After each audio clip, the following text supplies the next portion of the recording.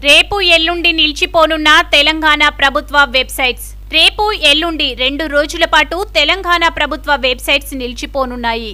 UPS స్థాయి పెంపు నేపథ్యంలో ప్రభుత్వం వెబ్సైట్లకు తీవ్ర అంతరాయం ఏర్పడనుంది. ఈ నెల తొమ్మిది నుండి పదకొండవ తేదీ వరకు ప్రభుత్వ వెబ్సైట్లకు అంతరాయం ఏర్పడనుంది. ఈ అంతరాయం కారణంగా ప్రభుత్వానికి సంబంధించిన ఉత్తర్వులు జారీ నిలిచిపోనుంది. అంటే ఈ రెండు రోజుల పాటు ప్రభుత్వ ఉత్తర్వులు జారీ కావు. తెలంగాణ రాష్ట్రంలో ఈ సేవల వినియోగం పెరగడంతో అన్ఇంటర్టబుల్ పవర్కు పవర్కు అంతరాయం కలిగింది. ఈ నేపథ్యంలో కొత్త యూపీఎస్ ఏర్పాటు చేయాలని ప్రభుత్వం నిర్ణయం తీసుకుంది. అటు శుక్రవారం నుంచి ఆదివారం రాత్రి వరకు ఏర్పడే అంతరాయాల గురించి అన్ని శాఖలకు ప్రభుత్వం ఇప్పటికే సమాచారం ఇచ్చింది. ఈ వీడియో గనుక మీకు నచ్చినట్లయితే లైక్ చేయండి షేర్ చేయండి. మీ అభిప్రాయాన్ని కామెంట్ రూపంలో తెలియజేయండి.